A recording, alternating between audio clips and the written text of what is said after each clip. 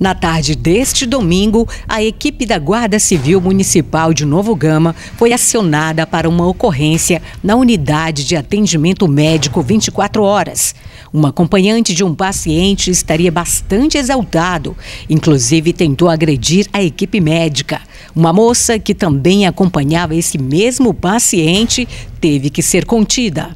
Agressão, resistência e desagato levaram equipes da GCM do município de Novo Gama a conduzirem neste domingo duas pessoas ao CIOPS para procedimentos cabíveis. Na manhã desse mesmo dia, a equipe também apreendeu um simulacro de arma de fogo. O comandante da GCM, Irã Silva, explica como tudo ocorreu. Segundo ele, o box de emergência estava ocupado e o rapaz não quis aguardar a vez. A jovem que também acompanhava o paciente estava descontrolada e cuspiu nos agentes. O paciente chegou, já havia é, já estava acontecendo um, um, atendimento de outro paciente que tinha sido trago pelo SAMU. O acompanhante queria que houvesse um atendimento imediato o que não era possível naquele momento. Então foi explicado para ele, para que tivesse um pouco mais de paciência, devido ao, ao box de emergência estar ocupado, e que imediatamente, quando se desocupasse, o paciente seria atendido. É, o acompanhante não quis é, aguardar, né, começou a ter uma conduta é, inaceitável, tentou agredir a, a, guarda, que era uma, uma guarda do sexo feminino, e aí foi, foi chamado apoio. Chegando o apoio, o rapaz ficou exaltado, né? Continuou exaltado. Entrou também mais uma, um acompanhante que estava com ele. E aí a gente teve que tomar as medidas cabíveis, né? Que foi é, usar, fazer uso da força para contenção do, do mesmo e também da jovem. A jovem estava é, descontrolada também, aparentemente estavam é, sob efeito de álcool, né? Essa jovem cuspiu na equipe.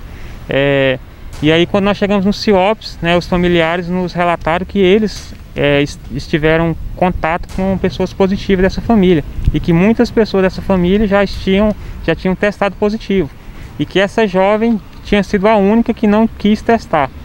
E aí, ficando sabendo dessa situação, é, nós solicitamos para a equipe médica para que fosse feito o exame nos dois, né? Nos dois que estavam detidos. E aí retornamos por 24 horas com eles, fizemos os testes o, o rapaz, né, o indivíduo não, não testou positivo, mas infelizmente a, a moça ela testou positivo e por causa disso a gente teve que, que afastar as duas equipes também no mesmo dia, por volta das 4h30 da manhã, a equipe recebeu denúncia de morador de que alguns jovens estariam aglomerados na rodoviária e cometendo danos ao patrimônio público.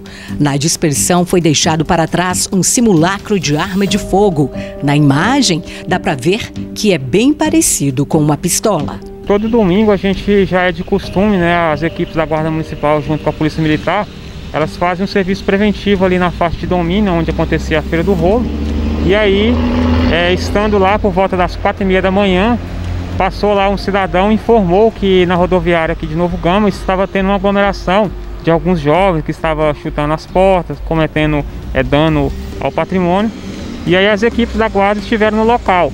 Ao chegar e quando notaram a presença das viaturas, esse pessoal que estava lá, eles é, dispersaram e aí as equipes estiveram no local e aí constatou né, que foi deixado para trás né, um simulacro de arma de fogo. É muito parecido aí com a arma real, né, que possivelmente poderia ser usado aí para cometer delitos. E aí foi deixado para trás para que se houvesse uma revista não fosse constatado com eles. Então a gente conseguiu aí retirar essa, esse simulacro das ruas e estamos aí para contribuir com aquilo que a gente pode fazer hoje pelo município. Os sete agentes foram afastados e estão sendo monitorados, mas o trabalho da GSM do município de Novo Gama continua a todo vapor.